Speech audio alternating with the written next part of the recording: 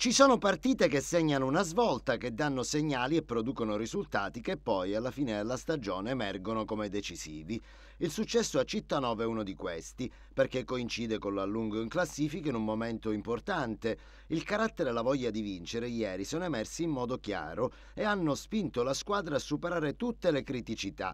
Il gol di svantaggio all'inizio della partita, il rigore del 2-2 e l'espulsione di Lancini. Nell'ultimo quarto d'ora il Palermo si è scatenato, ha avuto coraggio e voglia di spaccare il mondo. Sono arrivati due gol quando tutti pensavano al peggio. Sono arrivati tre punti che danno fiducia e autostima. Ad 11 giornate al traguardo la squadra rosanero ha voluto ricordare a tutti, anche a se stessa, di essere la più forte. Il gol di Peretti è stato bellissimo e carico di significati. Ha premiato un difensore centrale che è andato all'assalto in area avversaria, un giovane che sta facendo registrare un rendimento elevatissimo. Pelagotti, Langella e Floriano sono stati gli altri protagonisti in una giornata in cui comunque tutti i rosanero hanno sfoderato una prestazione d'alta qualità contro un avversario tosto e apprezzabile.